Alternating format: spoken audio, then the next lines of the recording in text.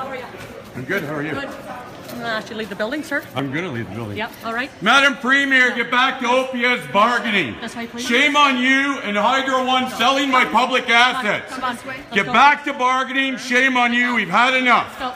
This way? Yes, I'm please. good. Thank you. I get to see the Premier again. Promises of old money, Madam Premier. Let's go. Shame on you. I'm going. I don't Okay. jog, Thank that's you. for sure. I know that. Madam Premier, get back to bargaining and this all goes go, away. please, sir. Stop selling Hydro One. It's Yep. not yours to sell. Thank you. Not yours to sell, Madam Premier. Ontarians know that it's going to cost them in their hydro bills. Sir, you're scaring children. No, I'm not scaring children. Okay? Children. Thank you. Have a nice day. Hereby trespass from our property. There any of anybody buried that's here? And you what?